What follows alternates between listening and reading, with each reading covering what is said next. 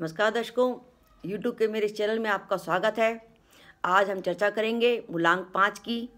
जिन लोगों का भी जन्म किसी भी महीने की पाँच, चौदह या तेईस तारीख को होता है, उनका मूलांक पाँच होता है। मूलांक पाँच का जो स्वामी ग्रह है, वह बुद्ध है।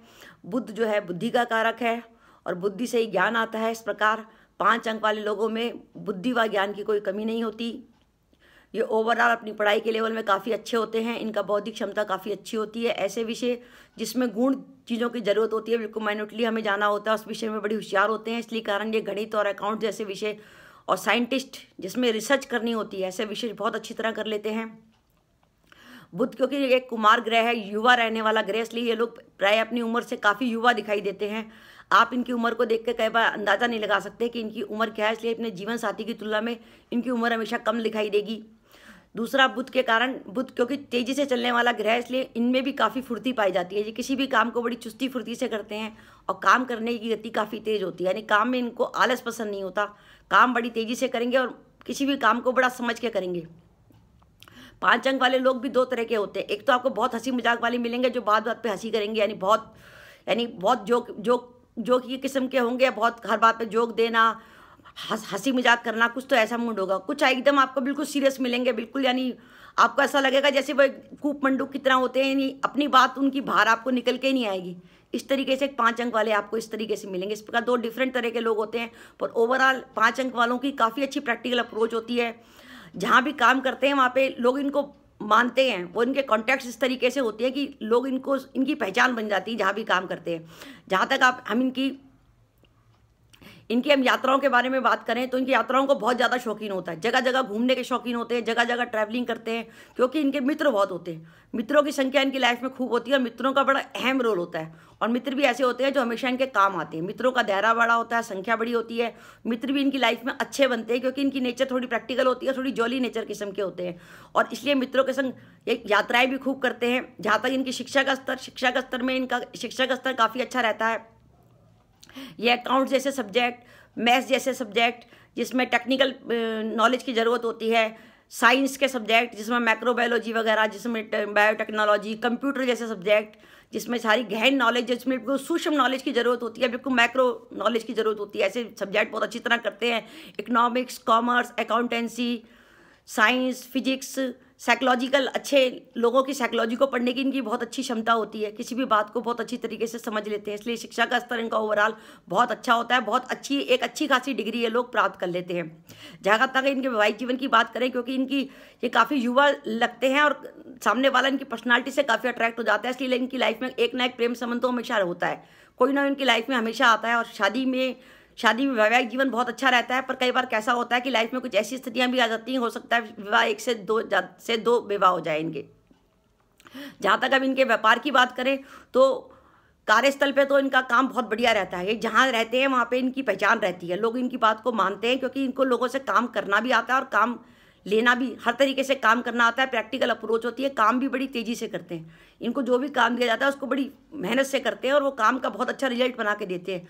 तो जहाँ भी काम करते हैं, लोग इनको पहचान बनती है इनकी वहाँ पर दूसरा, क्योंकि बुद्ध जो है, व्यापार का भी कारक है, इसलिए लोग व्यापार में बड़े होशियार होते हैं।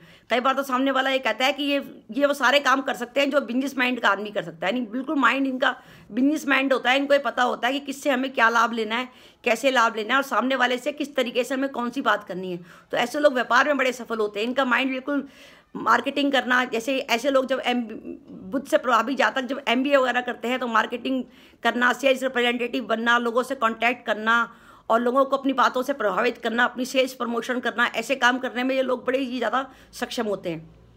जहाँ तक अब इनकी हेल्थ की बात करें तो हेल्थ ओवरऑल तो ठीक रहती है, पर इनकी हेल्थ में दो मुख्य इफ़ेक्ट आते हैं। एक तो इनके ब्रेन में।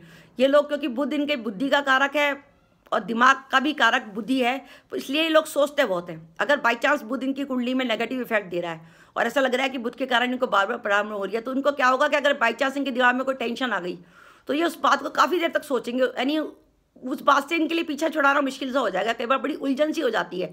और अगर बुद्ध सही है तो ओवरऑल ये बहुत आप बहुत अच्छी इनसे सलाह ले लीजिए सब ले लीजिए। बुध इनको बहुत अच्छा गाइड करेगा और आपको बहुत अच्छे सलाहकार बन जाएँगे। पर अगर बुध इन्हीं के लिए नेगेटिव होगा तो ये अपनी उलझन में फंस जाएँगे। इन्हीं एक, एक तरह की सोचा विचारी करेंगे और उस बात से काफ़ी परेशान भी होंगे। इसलिए अगर इनको ऐसा लगे कि बुध उनको इस तरीके से नेगेटिव इफ़ेक्ट दे रहा है तो उनको क्या करना चाहिए कि जानवरों को बुधवार के दिन हरी सावत मूँग डालनी चाहिए। और साथ ही अगर ये अपने दांत जो है फिटकरी से साफ़ करें तो बुध का दोष जो है काफ़ी हद तक ठीक हो जाता है। फिटकरी से दांत साफ़ करने से बुध का दोष समाप्त होता है और यही बुध जो है इनको पॉजिटिव इफ़ेक्ट देने लगता है। साथ ही इनको जो प्रॉब्लम होती है, वो इनकी पाचन क्रिया से संबंधित होती है। यानी ये सोचा विचारी ज़्यादा करते हैं, इसलिए कई बार खाना वाना नहीं पचता, कब्ज हो जाती है बवासीर वगैरह की प्रॉब्लम हो जाती है, कई बार खाने में बहुत परेजी कर देते हैं क्योंकि ट्रैवलिंग करते हैं, इधर उधर घूमते हैं तो उस तरीके से कई तरह की डायबिटीज़ जैसी प्रॉब्लम भी इनको डेवलप हो जाती हैं। इस प्रकार इनकी प्रॉब्लम या तो ब्रेन से संबंधित होगी या तो कोई न्यूरो प्रॉब्लम हो सकती है, सर में दर्द हो सकता है, सर में चक्कर आना, चश्मा लग सकता है, या इनको कोई पाचन क्रिया से संबंधित इनको कोई मेन प्रॉब्लम हो सकती है। इस प्रकार देखा जाए तो पाँच अंक के लोग, जो लोग हैं, वो लाइफ में काफ़ी सक्सेसफुल रहते हैं, क्योंकि ये प्रैक्टिकल अप्रोच होती है। इनको पता होता है हमें किससे क्या बात करनी है, कैसे बात करनी है। दोस्त भी बड़ा सोच विचार के बनाते हैं और ऐसे दोस्त होते हैं जो इनकी लाइफ में हमेशा काम आते हैं। ये अपना जीवन साथी भी काफ़ी सोच विचार के लेते हैं। इनको पता होता है, मैं अपना जीवन साथी ऐसा कैसा लूँ, जो मेरे संग लाइफ में आगे निकल सके। इस प्रकार एक तरीके से देखा जाए तो पाँच अंक के लोग काफ़ी सक्सेसफुल होते हैं। अगर ऐसे लोग विदेश में चले जाते हैं तो हमारे देशों का नाम ही रोशन करते हैं। और ये लोग जो है चित्रकला में आर्ट्स के क्षेत्र में भी इनका हाथ काफ़ी अच्छा होता है। एक तरफ़ तो ये लेखन के कार्य में भी एक्सपर्ट होते हैं, दूसरा चित्रकला के कार्य में, क्योंकि आर्ट फेसिंग होता है, बुद्ध जो है बाकायदा आर्टिस्टिक माइंड बनाता है तो उसमें भी बहुत अच्छा ये प्रोजेक्ट वर्क करेंगे, कोई भी चित्रकारी वगैरह का काम करेंगे।